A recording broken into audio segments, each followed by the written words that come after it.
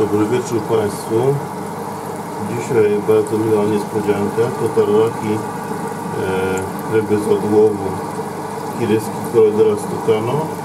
Jak Państwo się przyjrzy tutaj zbliżam tabelę, e, te, zbliżam kamerę do mm, szyby. No to tutaj jest całkiem te kiryski ikry. Zaraz ją będę zbierał. Jeszcze raz rzut na obrączki. Delikatnie przesunę rękę.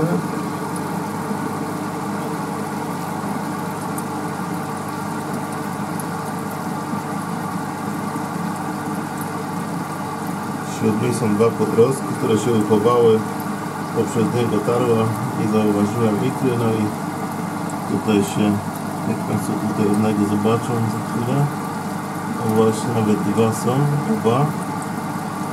Tak więc te kiryski nie jedzą ikry raczej, nie zauważyłem przynajmniej tego, no i jest duża szansa, że jak jakiś maluch tam e, wykluje no w akwarium walizkowym, to też się uchowa. Oczywiście przy dużej ilości ikry to jest nierealne, żeby taką ilość młodych utrzymać, dlatego też za moment będę tą ikrę e, pieczyłowi się zbierał. Dziękuję bardzo Państwu.